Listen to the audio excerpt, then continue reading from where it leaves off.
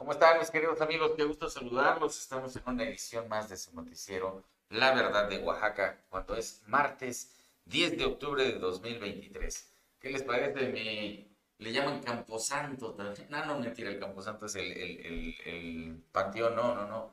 La zona en la que tenemos un campo, pero de flores de cempasúchil, adornados aquí con una hermosa dama, simulando nuestras tradiciones a una calaca, una muerte aquí en Oaxaca, solo para adornarnos en el estudio con relación a la temporada que estamos viviendo en Día de Muertos. Mi nombre es Reddy Yescas y te voy a acompañar unos 30 minutos, si me permites, para platicarte qué está sucediendo en nuestro estado de Oaxaca. Este noticiero se llama La Verdad de Oaxaca. Y sí decimos las cosas como son, sin tener mayor compromiso que contigo como espectador. Y como ya iniciamos tarde, pues vámonos directo al resumen de lo que vamos a ver ahorita. Mira, te voy a platicar un tema sensible. Están investigando a policías de Oaxaca tras un supuesto suicidio en una cárcel. Eso es lo, parte de lo que te voy a platicar hoy. Después hablaremos de la protesta de los trabajadores de salud en la Junta Local. No se ponen de acuerdo estos señores y siguen conflictuando el servicio de salud para los oaxaqueños. Una nota que me pareció muy interesante es que se está llevando Oaxaca de Juárez residuos sólidos, sólidos urbanos no reciclables, reciclables, reciclables, los reto a que lo digan bien en la primera, para que se vayan a, a esta cementera Cruz Azul. Eso significa que no van a generar costos para el municipio de Oaxaca y sí beneficios. Luego una nota que también está sonando fuerte es que están vendiendo terrenos de manera ilegal en Ochixtlán, Asunción Ochixtlán. De manera que si tú piensas comprar un terreno donde sea, tienes que asegurarte de que no esté eh, mal vendido, que no sea una estafa. Secretaría de Turismo anuncia en voz de Jaime Pineda que Huatulco va a tener vuelos directos desde Canadá a través de una aerolínea que presta este servicio, WestJet, aumentando las rutas del turismo para Oaxaca. En las notas rojas te platico que un auto se fue al barranco y falleció la, familia completa. Qué lamentable. Y dos motociclistas fallecieron cuando chocaron de frente en carretera de Oaxaca. ¿Qué hay que hacer para que como motociclista o automovilista choques de frente contra otro vehículo? Eso sería interesante analizarlo porque el 95% de los accidentes se pueden evitar tan solo por prestar atención a las normas de vialidad. Y en este caso costaron vidas. Bueno, y luego otro accidente en el Cerro del Fortín, que afortunadamente solo tuvo como consecuencias daños materiales. No deja de ser una llamada de atención para todos los que conducimos. ¿Y qué te parece hablar de la ruta de las mil flores en Atlisco, Puebla? Desde 10 pesos. Así es como comienza esa ruta de las flores. Estarás invitado a que visites esta exposición que hacen nuestros vecinos poblanos. Oye, el tema que está dando de qué hablar a nivel internacional es la guerra que está ocurriendo entre la franca entre Gaza e Israel allá en la zona eh, oriente de nuestro planeta. Bueno, pues el asunto con los mexicanos es que una selección de gimnastas rítmicas de México quedaron atrapadas en medio, del, en medio del conflicto de Israel, además de que dos mexicanos fueron secuestrados por este grupo terrorista.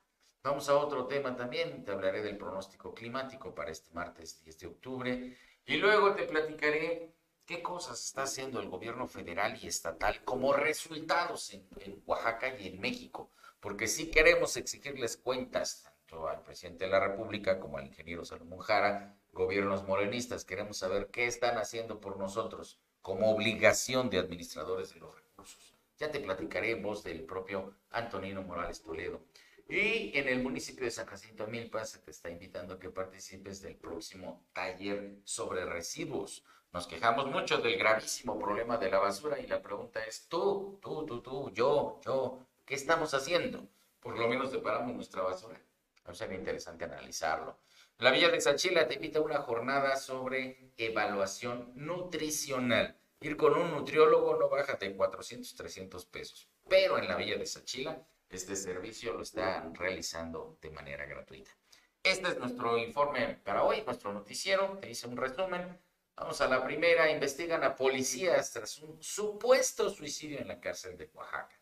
El hombre agredió a su mujer, en efecto, tenía que ser detenido por la policía.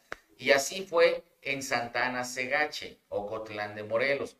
Pero presuntamente se suicidó en la misma cárcel porque amaneció fallecido el hombre. Entonces, ¿qué sucedió? Pues la autoridad detuvo a los policías encargados de la vigilancia y piden que den cuentas sobre este supuesto suicidio. Bueno, para empezar, esto ocurrió a las 3 horas con 15 minutos, más bien a las 3 de la tarde, con 15 minutos del día sábado, en la agencia municipal de San Jerónimo Segache. Ahí fue detenido Felipe de Jesús, de 44 años de edad, porque su esposa lo solicitó, la estaba agrediendo. Entonces sí, llegó la policía municipal, lo detuvieron y se lo llevaron a la cárcel a este sujeto Felipe de Jesús. Sin embargo, a las 5 de la tarde con 40 minutos, o sea, menos de, alrededor de dos horas después de haber sido detenido, la policía municipal reportó que estaba colgado este señor Felipe de Jesús en los mismos separos de la policía municipal de Santana Segachi, de San Jerónimo Segachi, para decir con exactitud el tema. Entonces, ¿qué pasó? A petición de los detenidos, la autoridad municipal detuvo a los policías municipales Leobardo HH y Patricia GF, así como el encargado de turno, el OIGG, quienes quedaron encarcelados hasta que se defina esta situación. Los familiares de Felipe de Jesús piden a la autoridad municipal que los tres detenidos se hagan responsables por esta situación y además piden una indemnización. Desde luego que es responsabilidad evitar, en caso de que fuera suicidio, evitar que un detenido incurra en este tipo de acciones. Cualquiera que es detenido le quitan las agujetas, les quitan el cinturón para evitar situaciones como esta. Y por otro lado, se investiga un posible homicidio. Así que no puede ni debe quedar sin castigo a los responsables de esta situación, porque la dimensión del delito no tiene nada que ver con las consecuencias que tuvo esta detención. Bueno, hablemos de otra cosa, no sin saludar a doña Blanca Silva, que hace mucho que no la saludaba. ¿Cómo está? Buen día, señor Redillesca, saludos cordiales. ¿Cómo está, doña Blanca? Cambiamos nuestro horario, por la mañana salimos ahora para poder vernos con muchas personas que no podían en otro horario. Eh, Cancino Luna, ¿puedes borrar este, este comentario? Porque es una de esas estafas que llegan en Facebook. Bien, pasemos a otro tema. Los trabajadores de salud siguen protestando en la Junta Local. Siguen las protestas en la ciudad de Oaxaca. Se trata de los integrantes del Sindicato Independiente de Trabajadores y Profesionales de la Salud, este sindicato, el CITIPS. Ellos exigen la reinstalación o el finiquito para 200 trabajadores que fueron despedidos. ¿Y saben qué? Tienen razón. Si ya fueron despedidos, tienen que finiquitar su compromiso laboral. Sin embargo, donde sí tenemos un problema es que no han no están resolviendo su problema y ahora están haciendo protestas los trabajadores en la junta local. Esto es para poder demandar que necesitan arreglar su problema. Fueron despedidos aparentemente sin motivo alguno. Hasta el momento no les han resuelto su futuro.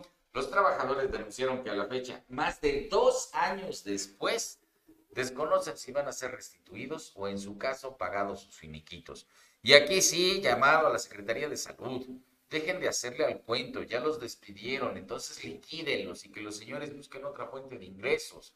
Conforme a la ley, eso es lo que se tiene que hacer.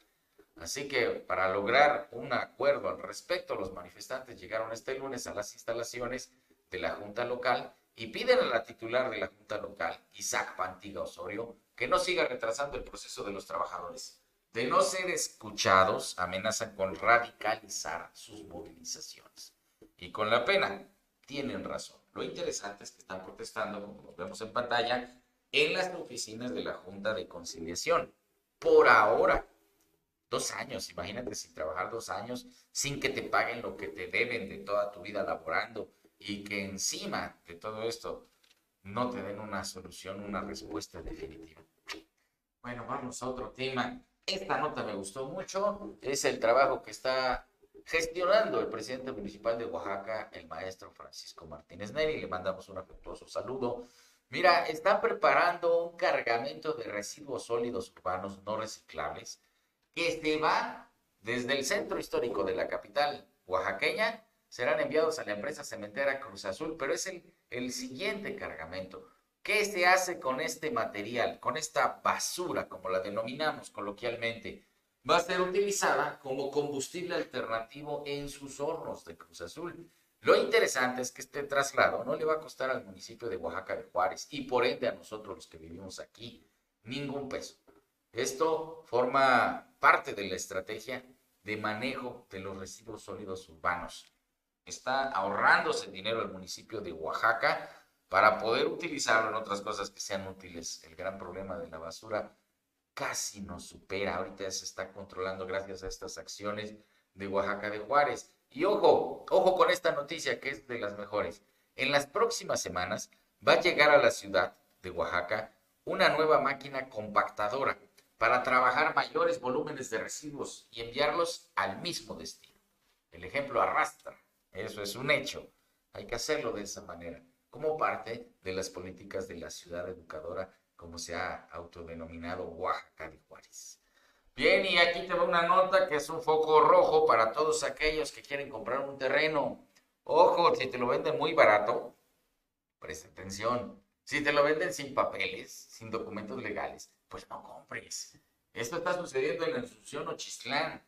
Se está volviendo un espacio de venta ilegal de terrenos. Así fue como lo denunció este lunes el comisariado Felipe Fernando Ramírez Jiménez quien en entrevista denunció a las organizaciones 28 de octubre y a integrantes del Frente Nacional Indígena y Campesino, FENIC, de vender terrenos de manera ilegal. Esto en el paraje denominado Pueblo Viejo, allá en Asunción, Ochistlán, que además es considerada una zona protegida. Qué infelices estas organizaciones disque sociales, cuyo propósito es hacer dinero mal habido. Están vendiendo terrenos de una zona, de una reserva protegida. ¿Qué caramba están haciendo con esto? Bueno, pues están aprovechando, señaló el denunciante, el comisariado, están aprovechando la ignorancia de las personas a quienes les están arrebatando sus recursos, que van desde 40 hasta 50 mil pesos como enganche de un terreno en esta zona. Les hace cobros de cuotas, si no van a los bloqueos o juntas de sus organizaciones. Es un hecho que ilegal, es ilegal por todas luces, por todas partes. Así que se han presentado ya denuncias al respecto. Y el problema en este proceso es que no se les están entregando documentaciones, así nada más a la buena voluntad de los dirigentes de estas falsas organizaciones sociales. Tú has caído víctima de algún problema de esto. Por eso te lo estamos platicando, para que estés alerta y no vayas a caer en garras de estos estafadores. El problema además es que estas personas que están ya incluso asentándose en sus supuestos terrenos, corren el riesgo de ser desalojadas en cualquier momento. Por eso el anuncio de acercarse a la comisaría municipal para conocer a detalle las afectaciones de las que pudieran ser víctimas. Y también antes de comprar un terreno, tienen que ir con la autoridad municipal, la agraria, la ejidal, la autoridad que esté en turno en esa zona para que certifiquen que la venta es legal. Y además hacen un llamado al gobierno del estado para que brinde el apoyo correspondiente y se eviten estos actos ilegales. Y sobre todo, voy a repetir estas organizaciones disque sociales, estafadoras, ladronas. Se trata del Frente Nacional Indígena y Campesino, FENIC, y de la otra que se llama 28 de octubre. Aléjense de estas ratas. Así de simple. Bueno, vamos a platicar una cosa buena mejor. La Secretaría de Turismo, que encabeza Sandy Pineda Velasco, ha informado que Huatulco, nuestro puerto Huatulco, en esta zona costera, va a tener vuelos directos desde Canadá a través de la aerolínea WestJet. Todo esto a partir del 13 de octubre. Ayuda muchísimo, desde luego, para poder tener eh, turistas internacionales, derrama económica en los destinos turísticos de Oaxaca. Esta es la información. La conectividad es muy importante para nuestro estado de Oaxaca. Y por supuesto, con WestJet llega a Huatulco a partir de octubre hasta abril. Cinco ciudades importantes de Canadá: Calgary, Edmonton, Toronto, Vancouver y Winnipeg. Espéranos. te recibimos con los brazos abiertos en la tierra orgullosa de sus raíces.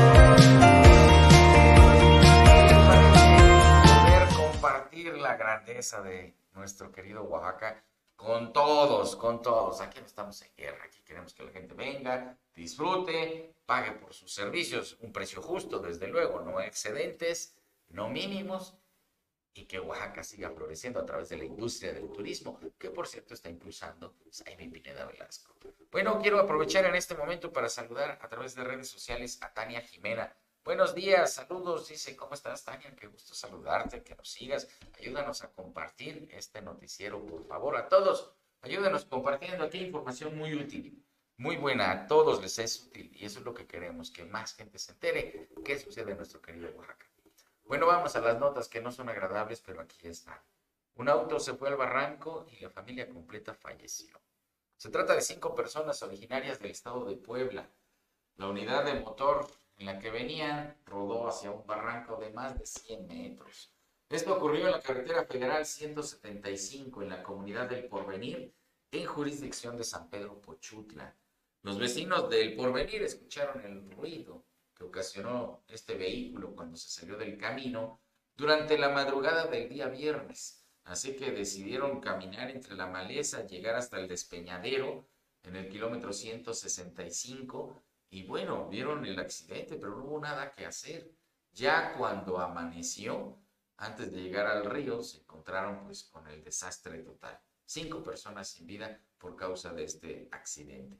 Llegaron las autoridades, hicieron lo que tenían que hacer, entre sus investigaciones se encontraron a cinco personas sin vida, cuatro mujeres y un varón, uno de ellos de 13 años y los demás entre 30 y 35 años.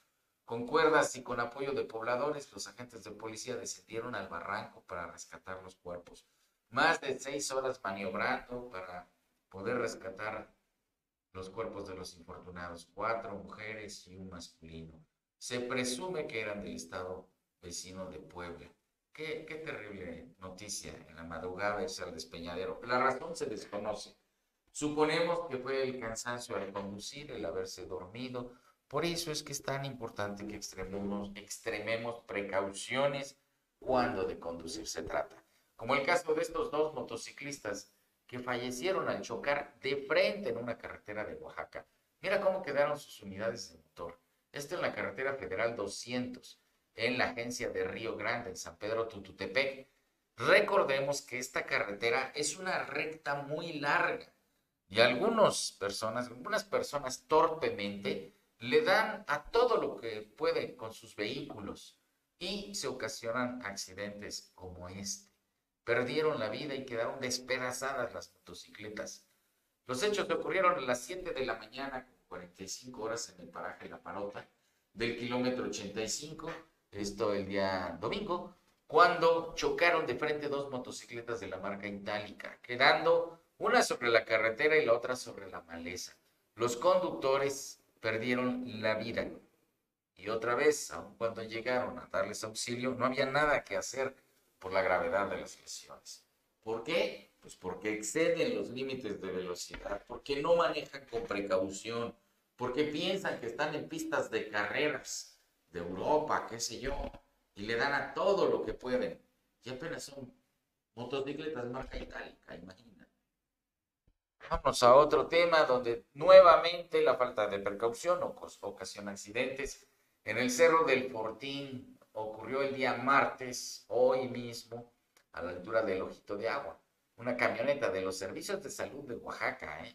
fue la que tuvo este accidente automovilístico. ¿Por qué? Porque el chofer perdió el control e impactó contra un muro de contención. Así quedó la unidad. Hoy todavía ni amanecía y ve cómo quedó este vehículo de los servicios de salud de Oaxaca. De dónde venía, cómo venía, todavía no se ha definido. Lo que sí es un hecho es que venía exceso de velocidad. Y además el asfalto está mojado. Cuando el asfalto está mojado, el vehículo va a derrapar sí o sí, siempre a altas velocidades. Bueno, esto sucedió durante la mañana, muy de mañana del día de hoy. Ya pueden ver la imagen, apenas estaba asomando el sol. Y otra vez, la falta de precaución. Eso es lo que sucede. Vámonos a las nacionales. Ya inició la ruta de las mil flores, esto en Atlisco, Puebla. Es en la temporada de todos los santos, es cuando los viveros del pueblo mágico de Atlisco están listos para ofrecer la flor de cempasúchil, el terciopelo. Mira estas imágenes que tengo son precisamente de flores de cempasúchil, pero las que te presento en pantalla en este momento corresponden a la zona de Atlisco, Puebla. ¿Qué tal?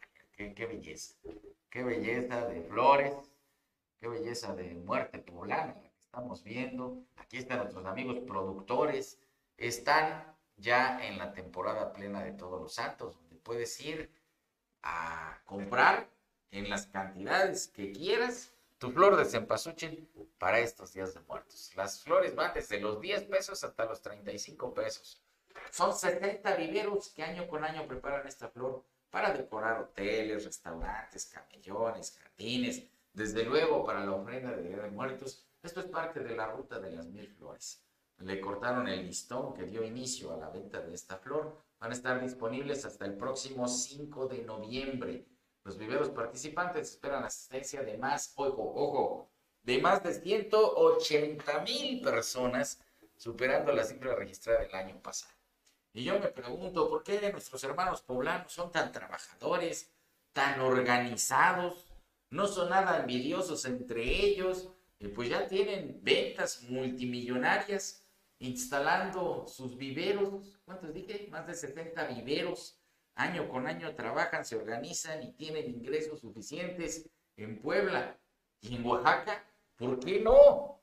¿Por qué no nos hemos organizado para hacer estas vendimias? Si además Oaxaca es el principal consumidor de flor de cempasúchil, vaya que nos está faltando eh, organización, voluntad y nos está sobrando envidia como siempre ha sido en Oaxaca, caramba. Bueno, queda para la reflexión. ¿O tú qué opinas? Así es, así es. Vamos a otro tema. Fíjate que te platicaba, has de saber desde luego que estalló una guerra el fin de semana en eh, Oriente Medio entre Israel y Gaza, llamada Franja de Gaza, 40 kilómetros de territorio, que están en conflicto con Israel desde hace, ¿qué te digo? 2.500 años para acabar pronto. El conflicto es muy añejo, pero en la era moderna resulta que eh, Gaza atacó con más de 5.000 misiles. Sí, se oye brutal el número, hasta parece incierto.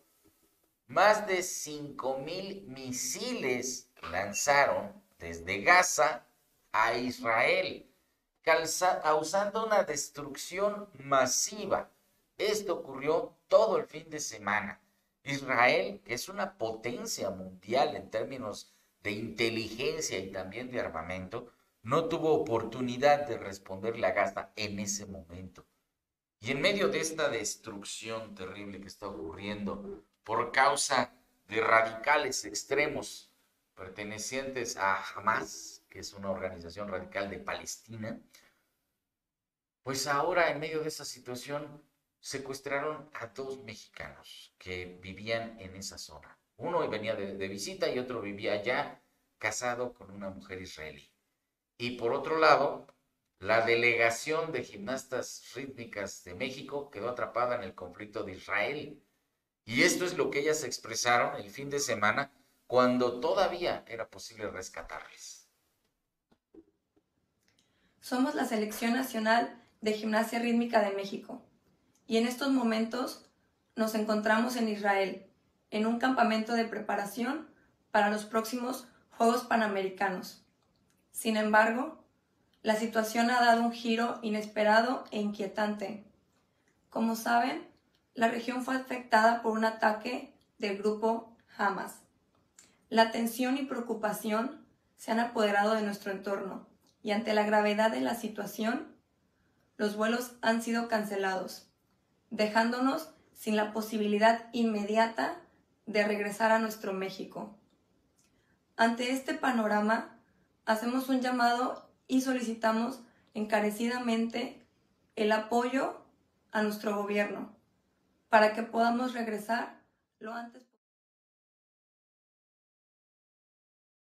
Esperan poder ser trasladadas a México. Y sí, la situación en esa zona del mundo se está intensificando de manera brutal. La guerra entre Rusia y Ucrania palidece ante la situación que se está viviendo en Oriente Medio en este momento entre Palestina e Israel. Y el gran problema de esta guerra es que corre el riesgo de que se extienda a su territorio inmediato. Estamos hablando de Jordania, estamos hablando de Egipto, hablamos de Irán, eh, hablamos de, Emiratos Árabes Unidos, unos países que rodean a Israel y que han estado en conflicto por mucho tiempo, que están tratando de tejer redes de paz, pero ahora con esta intromisión del grupo Hamas allá en Palestina contra Israel, te repito, bombardearon con 5.000 misiles.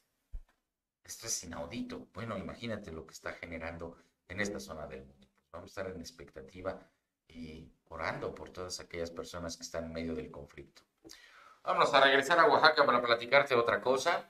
Fíjate que tenemos un clima pues inestable, honestamente. Tenemos la interacción y acoplamiento de diversos sistemas atmosféricos, locales y migratorios. Esto significa que hay inestabilidad en el estado. Por ejemplo, vamos a ver una vaguada monzónica que viene del Pacífico Sur. Esto significa humedad, es más, probabilidad de un desarrollo ciclónico sobre el occidente del Golfo de México es decir, lluvias, humedad de intensidad variable para una parte del estado, la mayor parte del estado. Nos va a generar niebla en las zonas altas, va a haber oleaje elevado en las costas de Oaxaca y también vientos interesantes. Por otro lado, hay una onda tropical muy activa que se está acercando a la porción oriental de la península de Yucatán, lo que también significa que va a haber lluvia próximamente. Interesante porque estamos en otoño, ya en, otoño normalmente no llueve, al menos no llueve tanto, pero todavía tenemos lluvia. Y más interesante aún es que tenemos temperaturas elevadas, cuando eso ya no debería de ser, ahorita debería estar fresco todo el tiempo, pero tenemos temperaturas muy cálidas en el territorio oaxaqueño. Otros temas, vámonos a otros asuntos. Fíjate que tuve oportunidad de platicar con el ingeniero Antonino Morales Toledo, quienes están haciendo visitas en todos los puntos del estado de Oaxaca en asambleas informativas. Le preguntaba, ingeniero, ¿para qué son estas asambleas?